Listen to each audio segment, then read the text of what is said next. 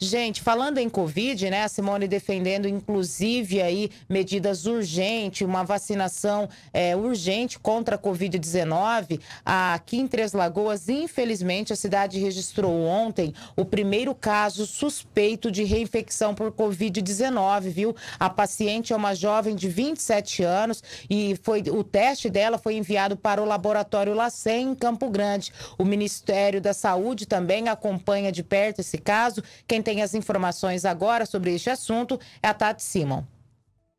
Três Lagoas investiga o primeiro caso suspeito de reinfecção pelo novo coronavírus.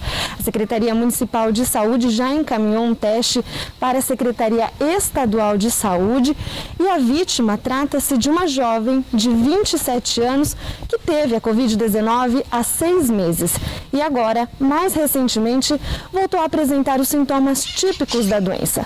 Sobre este caso, eu converso agora com a coordenadora da Vigilância Epidemiológica, Adriana Espazapan. Adriana, essa paciente agora voltou a ter esses sintomas. Quais são eles? Bom, no primeiro evento, ela teve apenas coriza né, e um incômodo nasal. Agora, pelo segundo evento, ela apresentou muito mais sintomas, né? Então, ela apresentou sintomas pulmonares, como tosse, falta de ar e ela teve febre, entre outros sintomas. Então, a gente percebeu que pelo segundo evento ela ficou é, com a saúde mais debilitada do que pela primeira vez. E já foi coletado algum teste, o RT-PCR? Sim. Então, hoje a gente verificou que o segundo RT-PCR dela, né, do ano, do ano passado, deu positivo para Covid. Uhum. E agora, qual que é o procedimento, os trâmites de agora para frente? Bom, a partir de agora, a gente encaminhou todos os documentos para a Secretaria Estadual de Saúde de Mato Grosso do Sul, onde eles vão avaliar os documentos, é, encaminhar as alíquotas né, de, de, do material genético coletado para o IAL, né, que é o Laboratório é, Adolfo Lutz de São Paulo.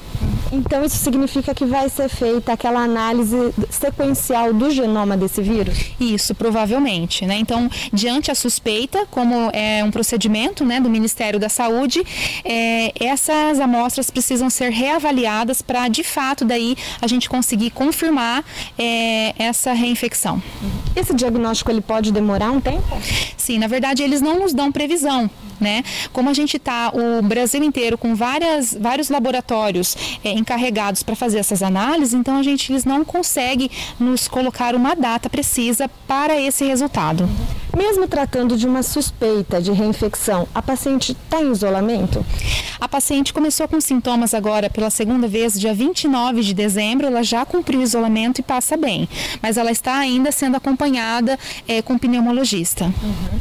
É, e diante dos casos já de confirmação de reinfecção no país e no mundo, né? Isso cai por terra aquela ideia de que a pessoa pegou Covid-19 e por isso ela está imune, não precisa mais usar máscara. Essa teoria cai por terra, Adriana? Exatamente. Então, assim, é muito importante é, a gente continuar, mesmo o paciente que está confirmado para Covid, saiu do isolamento, continuar com o uso da máscara e todos os cuidados, né? Porque a gente sabe que pega outras vezes e às vezes também a gente tem aqueles portadores assintomáticos. O paciente pode estar sim com o vírus no trato respiratório e pode transmitir para as outras pessoas sem sintoma algum. Uhum. Em todo o estado, os casos ainda são tratados como suspeitos. Não temos nenhuma confirmação de reinfecção em Mato Grosso do Sul? É, nós temos esses casos né, que estão em aberto e também estão aguardando o resultado do, do Adolfo Lutz. Tá certo, Adriana, eu queria agradecer pelas suas informações. E uma última informação é a seguinte: o Ministério da Saúde acompanha 21 casos suspeitos de reinfecção pelo novo coronavírus em Mato Grosso do Sul. Desses 21, 10 deles concentrados em moradores de Campo Grande, um aqui em Três Lagoas, né, que trata-se dessa jovem de 27 anos, e os demais são moradores de Antônio João, Corumbá, Coxim, Dourados, Fátima do Sul, Ivinhema e Naviraí.